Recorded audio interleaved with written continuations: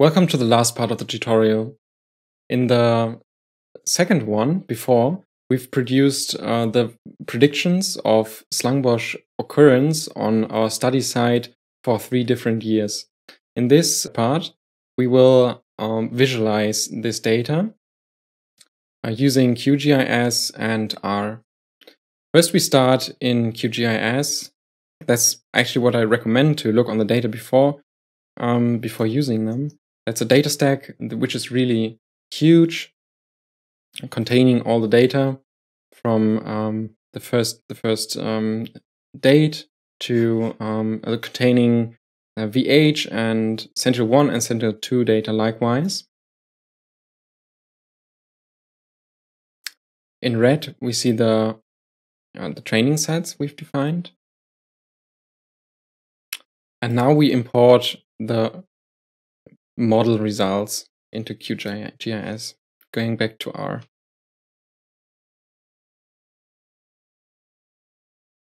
We import two packages. This is now really slim because we only want to visualize using ggplot inside the tidyverse and using Terra for raster imports.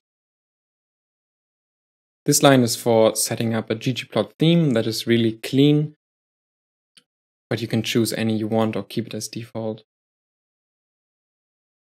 Here we again query for the prediction uh, for the for the data on the disk that we import in this statement. So now again we have three a list of three SpatRaster files containing the predictions we, we've exported in the last script. Now we extract only the third layer in that. We can see it has three layers the probability of false, the probability of true, and the response. The first two are float variables, meaning that it has data from 0 to 1, but all the steps in between, and the response only is true and false. Mm, at, for, uh, at first, we are only interested in the actual response in the binary prediction. We give these the three um, the three rasters names of the years and we plot them. This exactly resembles the plotting from the last script containing the, the response variables.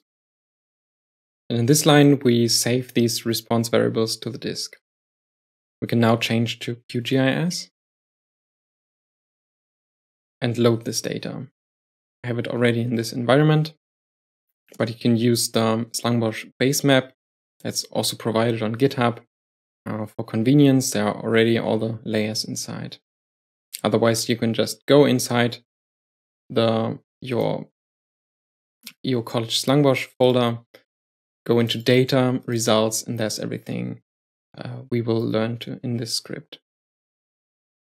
Opening now the response uh, GeoTIFF, we at first see nothing, but if we change the visualization to just simple grayscale, we have three layers, 2015, 16, and, and 15, 16, 17, containing exactly what we've seen in R. Now we get back to R. It makes it some sometimes uh, troublesome if we have uh, temporal changes, temporal data, um, that to visualize in just one map. That's why when we have three time steps, it's really easy to create something like indices um, for each uh, time so that we can visualize it um, by using uh, categories for each year. At first, uh, the first year we keep as it is. It, it contains a 1 for a true Slangbos response and a 0 for a negative. We multiply the second layer with 10 so that a positive Slangbos occurrence is 10 and a negative 0, and the last one times 100. That creates um, certain indices for each year. Now we add them up. So we have data from 0 to 111. So all the combination of years has its own index. And now we switch back to QGIS to visualize these indices. What we see now is uh, a background map of the data stack we have. In the far background, there's um, a QGIS base map. On the right-hand side, we see what these indices mean. So zero means that in each year, no slangbos occurred.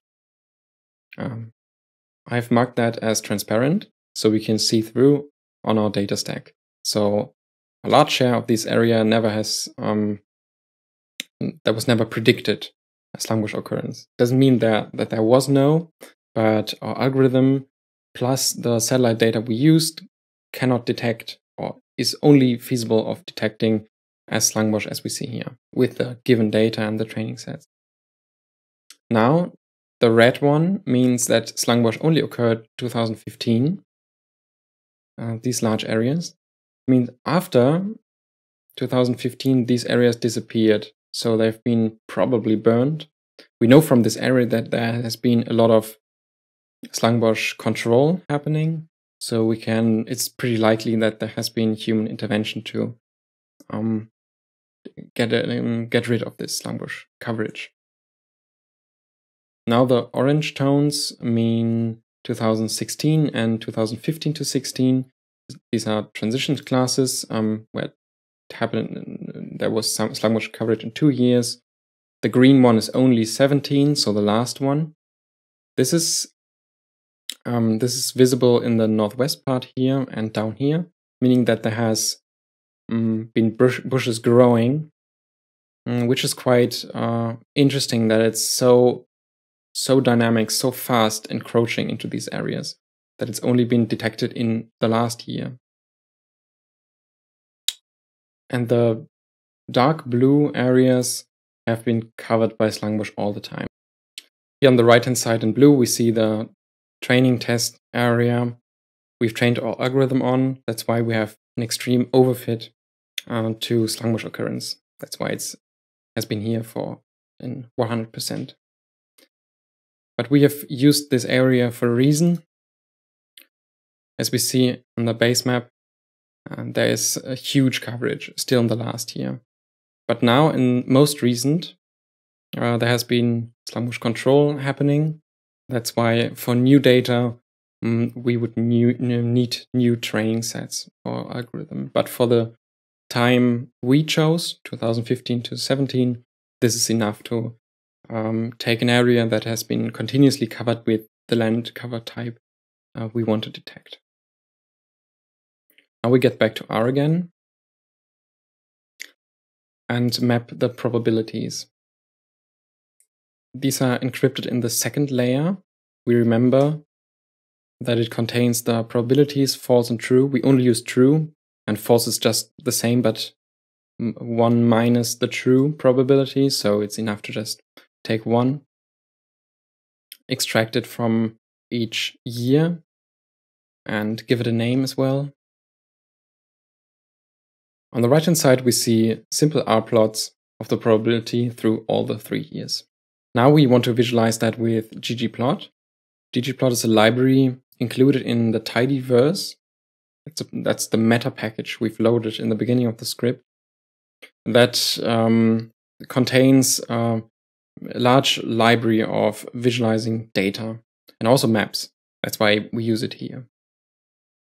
First, we have to transform our data to a data frame. So also the raster data has to be transformed to a data frame to be um, processable for ggplot. That's what we do here. And then we transform it into the longer format. Uh, you can look it up on the R um, web pages and help pages what this means. now we can we can use ggplot on that data using geom_raster and typing in the x and epsilon coordinates and using fill as the variable for the probability values. On the right hand side, we see panels of all three years now a little bit screwed because of the size of um, the R editor. But if we squeeze it like this, they are actual um, rectangle maps.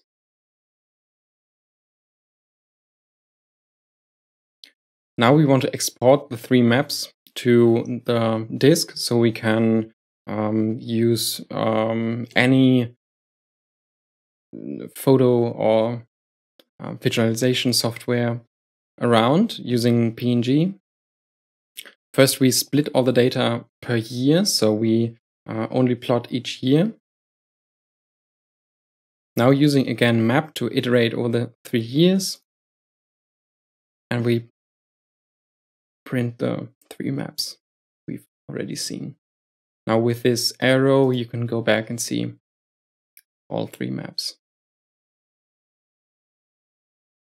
Using ggsave, we can take these maps and write them uh, onto the disk.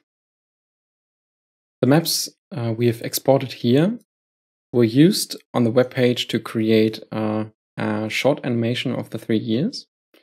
You can do this uh, in R as well, um, but a simple GIF maker in on in the web um, also makes makes does the job for that.